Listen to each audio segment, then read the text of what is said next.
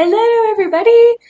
I just kind of wanted to make a video today going over my mobility aids and things that I use to help me with my Ehlers-Danlos syndrome. So, I just got a bunch of new stuff actually, so this is kind of like an unboxing video because I haven't tried any of these on yet. But I just got these, so you guys are going to watch me try them on for the first time. My dog had to come watch. So basically these are elbow braces. So my elbows hyperextend and dislocate really, really easily. As you can see, my elbow is like backwards. So this is hopefully going to keep my elbows in place. All right. Yeah, that's pretty comfy actually. I'm just going to put all of my stuff on because you guys are going to see all the type of stuff that I need. Okay, so we've got elbow braces on. And now, as you can see, my elbow can't bend as quickly backwards, and I think it's just kind of compression to help get circulation to my elbows. Okay, so that's elbow braces. This is another thing that I use for my EDS, uh, well, technically for my POTS, but um, it's just a normal watch that I use to keep track of my heart rate. So whenever I feel like I'm going to pass out, I check my heart rate. If it's too high, I sit down and take a break. This is one of my knee braces. I also just got a new knee brace, so now I can wear two knee braces at once. I will try this on later because you guys can't see my knees anyways. Another thing that I got I'm so excited about these. So I use a wheelchair for my mobility issues, which I'm going to be making a video more so talking about what I use my wheelchair for, why I chose to get a wheelchair, and how it's changed my life. But these are armrests for my wheelchair because I have such sensitive skin that my arms actually get sore just from sitting on top of the wheelchair all day. So I got these comfy sheepskin pads. They're fake, don't worry and hopefully that's going to help. So I also just ordered two different types of compression socks. So these just go around the arches of my foot and they're kind of just support sleeves because my feet, when I do have to walk, are extremely, extremely painful. So I'm going to be trying these out and I'm very excited about that. So obviously, this is something that every person with EDS probably has is ace bandage. Whenever you have an injury that you don't have a brace for, wrap it up in ace. Pretty self-explanatory. I use this on anywhere. This is my very, very old, nasty wrist brace that I've had forever. It's my dad's old one. It smells, it's really gross. It's really gross. So that's that, but I just ordered a brand new one. Let's see how it fits. Okay, cool. Oh, nice. It's got some good... What?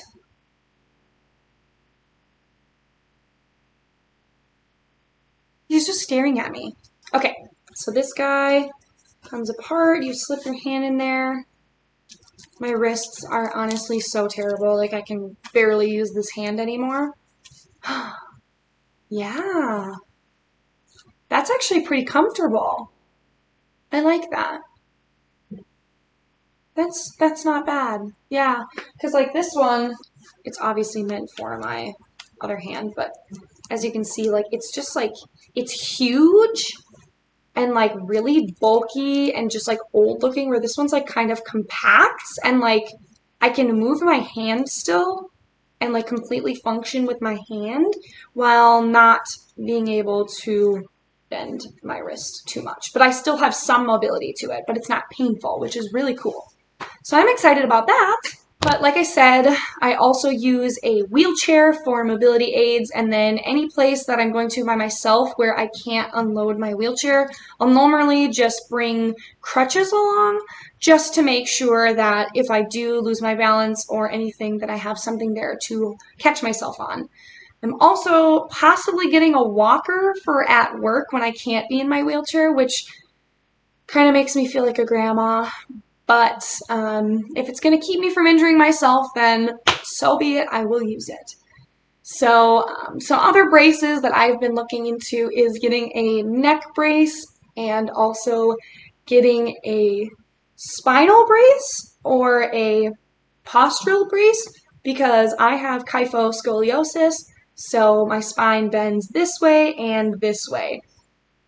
So basically, I have a curvy hunchback, and so I sit kind of like a caveman.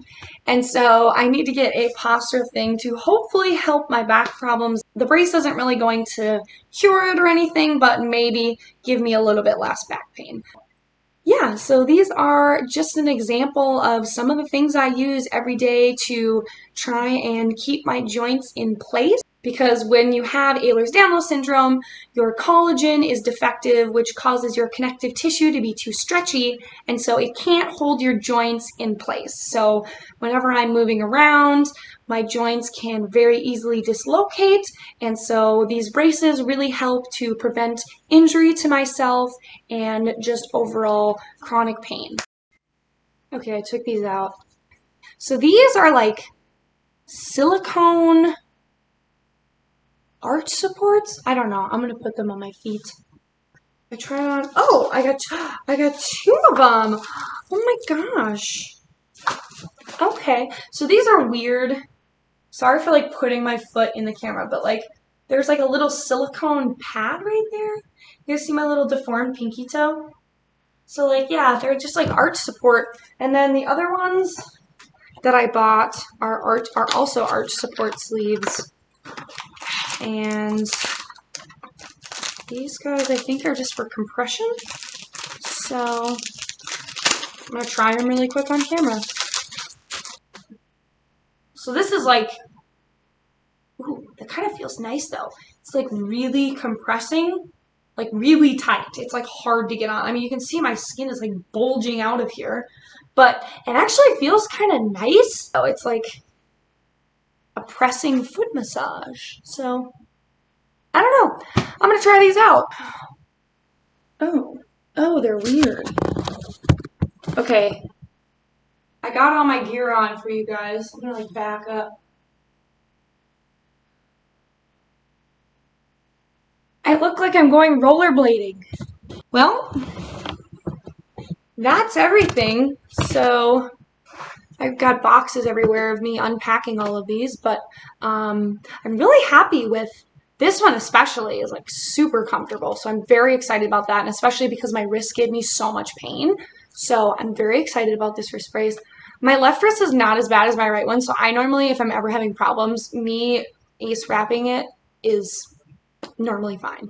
But uh, thanks guys for watching, and I'll see you next time.